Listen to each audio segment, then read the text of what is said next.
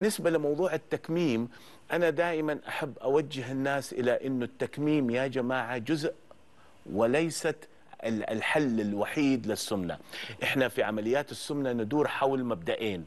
مبدأ تقليل الأكل وهنا تدخل عمليات كثير من ضمنها التكميم من ضمنها البالون من ضمنها الكبسولة من ضمنها الكرمشة من ضمنها عدد لا نهاية له. هنا المبدأ كله يدور حول تقليل كمية الأكل فقط لا غير. في عمليات أخرى اللي هي تقليل الامتصاص. هنا بندخل في عمليات تحويل المسار بأنواعها اللي هي فوق العشرين عملية.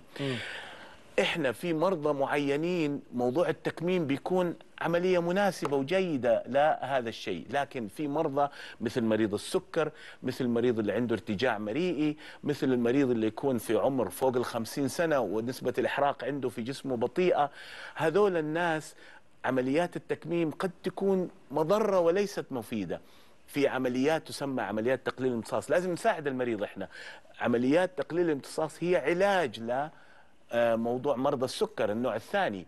مريض اللي عنده ارتجاع في أسفل المريء إذا أنت تسوي له عملية تكميم فأنت بتحول حياته إلى جحيم. لسه أنا أمس مسوي عملية لوحدة مسوي عمليتين تكميم وحياتها جحيم. تقول لي يا دكتور لما أجتمع مع صحباتي ما أقدر أقعد آكل معاهم لأنه التطريش ذابحني طول الوقت.